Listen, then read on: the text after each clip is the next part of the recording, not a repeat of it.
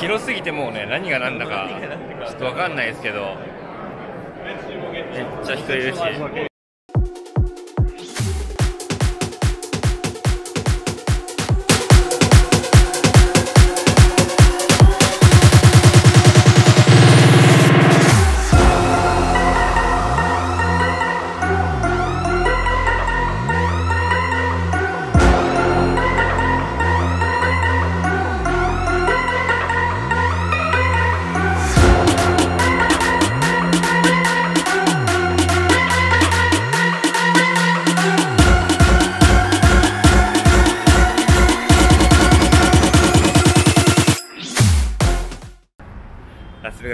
した。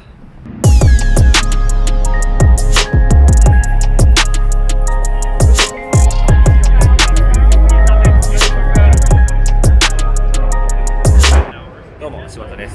ラスベガスのフェスに来てます。めちゃくちゃ広い。いやいろんなあテクノロジー、えーサービスを見ていきたいと思います。頑張ります。空飛ぶウーバーですね。いやーすげえ。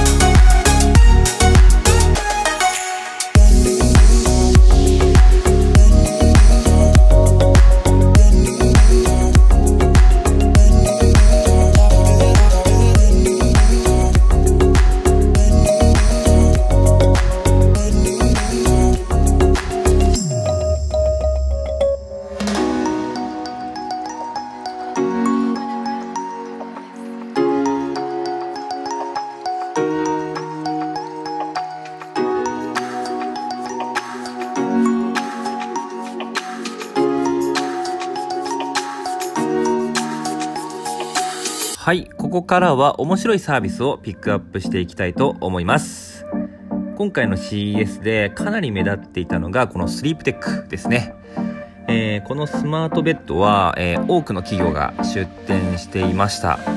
動きに合わせてマットレスの向きや硬さを自動調整する機能や睡眠のトラッキング機能などがありました。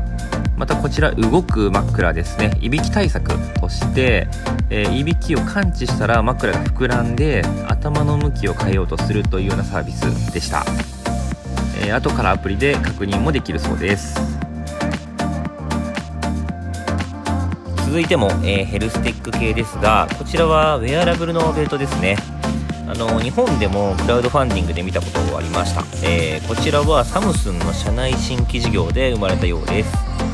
ベルトのバックルにセンサーが搭載されていて、えースマホでウエストサイズや歩数消費カロリーなどのデータが取得できるというものらしいです。あの高齢者の転倒防止に活用されたりとかあとなんか食べ過ぎてウエストが膨らんだらアラートが来るとか そういうのもあるみたいです。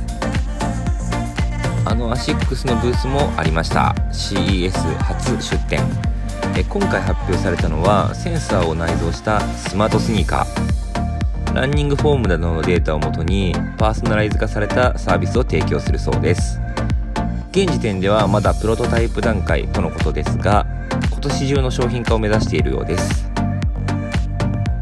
はいこちらは、えー VR の、えーフィットネスマシーンですね。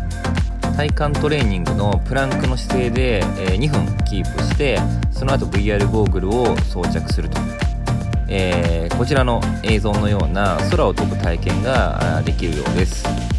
あのトレーニングってきついし時間が長く感じますけど、まあ、ゲーム感覚でできると、まあ、続けられそうかなっていう感じですね。楽しそうでした、えー、個人的に衝撃だったサービスがこちら、えー、育毛の帽子、えー、なんか帽子の裏側から赤色のレーザーが出ていて毛根を刺激して育毛促進するみたいです。1日6分かぶるだけで効くとか。本当かな？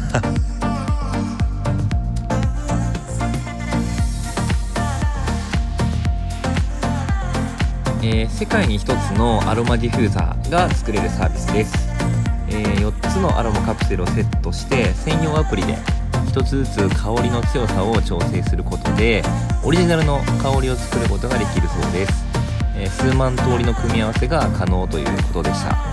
えー、好みに合わせてレコメンドされたりするんですかね。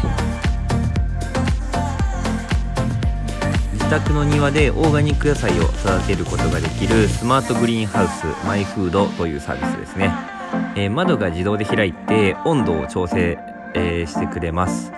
えー、それから AI による最適な栽培方法を提供して狭いスペースでも野菜が育てられるそうです。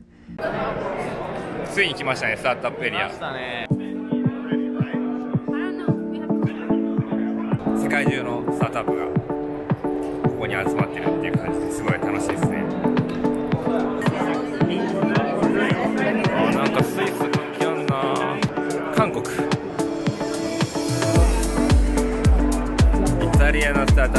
まいりますね。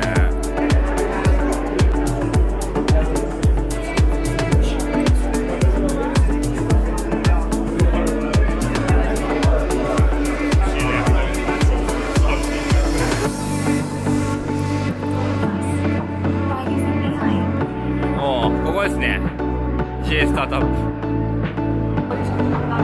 プ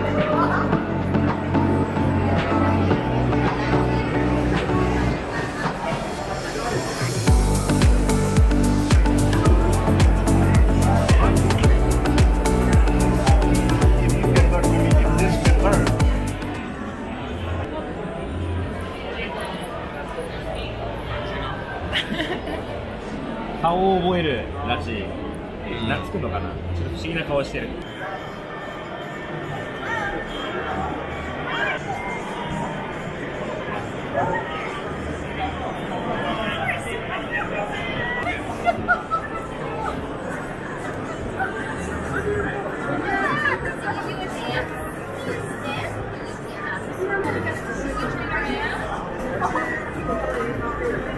移動しまくっても疲れたんでちょっと帰ります。ちょっと見たかったですけどね本当は。しょうがないよな。疲れた。